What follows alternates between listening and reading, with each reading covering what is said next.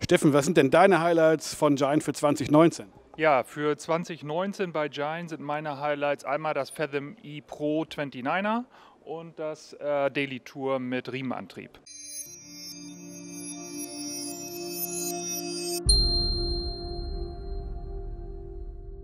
Ja, deine Highlights äh, stehen zufälligerweise vor uns. Du hast es angesprochen, das Fasom 29 als E. Ähm, ganz neues Modell gab es im letzten Jahr nicht. Äh, warum ist es eines deiner Highlights?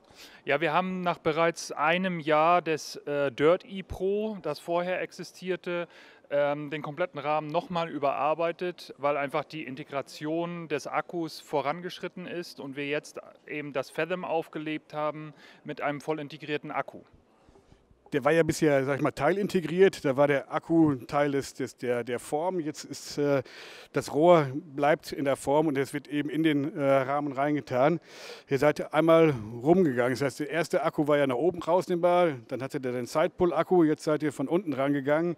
Ähm, frage mich, ob es nächstes Jahr dann die Seite auf der anderen Seite kommt. Nein, nein, nein. Das also auf jeden Fall nicht. Äh, der aktuelle Stand ist halt, oder der, die, der Trend geht halt zu den In-Tube-Akkus sozusagen sagen. Und äh, dem haben wir jetzt Rechnung getragen mit dem 2019er Modell. Was außerordentlich gut gelungen ist, wie ich finde, ähm, ist, ist sehr harmonisch. Wo liegt jetzt der Einsatzbereich oder wo war das Hauptaugenmerk bei euch in der Entwicklung für dieses Fahrzeug? Ja, ähm, im Prinzip hat sich nicht so viel geändert im Vergleich zum neu vorgestellten Dirt E-Pro aus dem letzten Jahr. Es ist ein echtes Trail Mountainbike, was wir hier nach wie vor im Programm haben. Nur wir wissen alle, dass E-Hardtails auch ähm, sehr viel als von SUV-Kunden sozusagen genutzt werden. Also ich kann es sowohl im echten Gelände einsetzen als auch natürlich auf der Straße sozusagen. Da machen die 29 Räder auch natürlich äh, Sinn. Und du hast es angesprochen, wir haben hier die äh, Vorbereitung für Direktmontage eines Seitenständers, für Schutzbleche, auch Gepäckträger. Und damit kann ich mir ein sehr robustes, alltagstaugliches Rad bauen.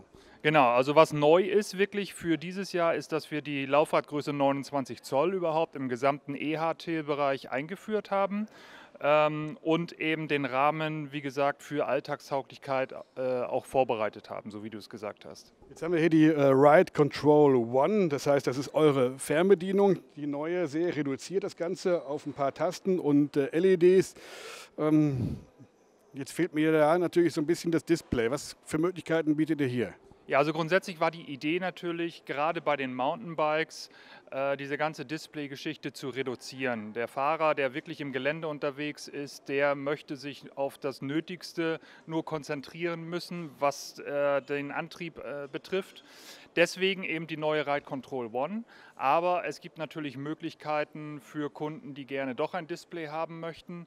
Zum einen ist da zu erwähnen, dass wir dieses Jahr eine neue Ride Control E-Bike App, also eine App für iOS und für Android anbieten werden. Zum anderen gibt es auch nach wie vor bei uns Upgrade-Möglichkeiten für das Charge Display und für das Evo Display. Du hast die App angesprochen, ist natürlich dann liegt auch voll im Trend, äh, das Ganze äh, smart zu machen durch und durch. Äh, welche Anzeige, welche Funktion ganz kurz bietet mir die App? Mit der App kann ich zum einen, und das ist, denke ich, das Allerwichtigste, meine Unterstützungsstufen des Motors anpassen, individuell jede einzelne Unterstützungsstufen. Da kann ich den Unterstützungsgrad in Prozent quasi ändern. Ich kann Fitnessziele mir setzen in der App. Ich kann das Ganze als Navigation äh, natürlich nutzen.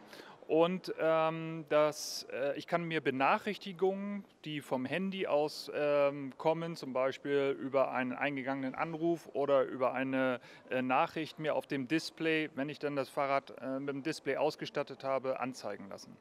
Klingt super interessant, gucken wir uns gleich nochmal im Detail an. Ähm, das ist nicht das einzige Rad, äh, was eines deiner Highlights ist. Eine ganz andere Richtung ist dann das äh, Daily Tour. Das Daily Tour ist jetzt auch ein ganz neues Modell.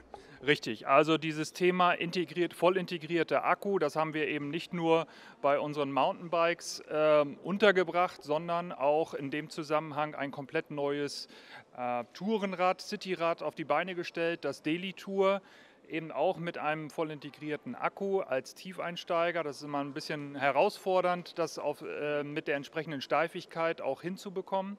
Das Daily Tour äh, gibt es ausschließlich mit äh, Nabenschaltung und das Besondere bei dem Rad, was hier vor uns steht, ist eben der Gates Riemenantrieb. Das ist natürlich eine super Sache, weil absolut wartungsfrei. Ich brauche mich um nichts zu kümmern, ich brauche nicht schmieren, ich brauche nicht spannen. Ähm, das sind die Vorteile des Riemens.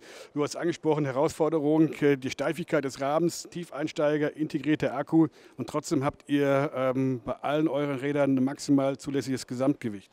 Richtig, das zulässige, maximal zulässige Gesamtgewicht für 2019 aller E-Bikes liegt bei 156 Kilogramm was, denke ich, im Markt schon ein bisschen äh, herausragt. Damit. Ich finde das sensationell, gerade wie gesagt bei dieser Rahmenform, wo viele Angst haben und da bei 120 äh, Schluss sein lassen, äh, setzt ihr noch einen drauf und sagt, unser Rad kann einfach mehr. Ja, ganz, ganz genau. Ähm, ihr habt ein neues Gepäckträgersystem, dafür hast du den Korb eben drauf gemacht. Das ist wirklich so eine, eine Klickgeschichte, äh, super angenehm, da klappert nichts.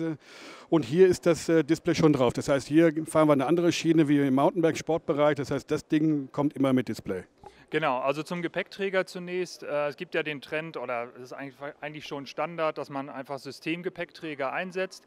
Dort gibt es verschiedene Systeme am Markt. Wir haben bisher vorrangig mit Rectime zusammengearbeitet und gehen jetzt aber mehr den Weg in Richtung äh, MIG-System. MIG-System das Gepäckträgersystem ist eine Kooperation aus äh, Maslot, dem Gepäckträgerhersteller, und Basir, dem Komponentenhersteller hier in Europa.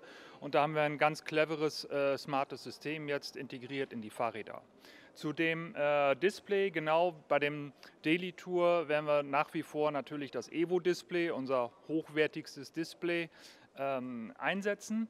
Das Schöne ist, ich kann auch dieses Display eben mit der App verbinden und die App ähm, pusht mir dann eben die Meldung, über die ich eben gesprochen habe, auf das Display, sodass ich mein Smartphone, auf dem die App läuft, in der Tasche haben kann und alles auf meinem E-Bike-Display sehen kann. Und was du eben nicht angesprochen hast, glaube ich, ist, dass die äh, Navigation mir natürlich auch auf das äh, Display gespiegelt wird. Fand ich super interessant. Genau, also die Navigation, die aus, dem, aus der E-Bike-App kommt, die wird mittels Piktogramme sozusagen, also kleinen Icons, auch auf dem Evo-Display angezeigt sodass ich dann ja, weiß, wo ich quasi langfahren muss. Finde ich eine super Geschichte. Ähm, abschließend natürlich meine Standardfrage. Ich bin im Laden drin und stehe vor lauter Fahrzeugen und muss mich entscheiden, warum sollte ich mich jetzt für einen Giant entscheiden? Giant steht natürlich zunächst einmal immer für eine, ein individuelles Produkt. Also wir haben den Anspruch, ein äh, Produkt auf die Beine zu stellen, was sich von anderen abhebt. Ähm, das haben wir auch dieses Jahr mit den integrierten Akkus, mit der Formensprache, die dazugehört, äh, geschafft. Dann ein zweiter Punkt, den man erwähnen sollte, ist immer die lebenslange Garantie. Wir haben über das zulässige Gesamtgewicht gerade bei den E-Bikes eben schon gesprochen. Ähm, ja. ja. Und letztendlich fahren sich die Dinge einfach geil. Und wir entwickeln natürlich auch Fahrräder immer aus Sicht des Konsumenten, ähm, was dem Konsumenten letztendlich die maximal mögliche Riding Performance, sage ich mal, äh, ermöglichen sollte. Ja, und das in allen Bereichen finde ich äh, echt klasse. Vielen Dank. Bitteschön.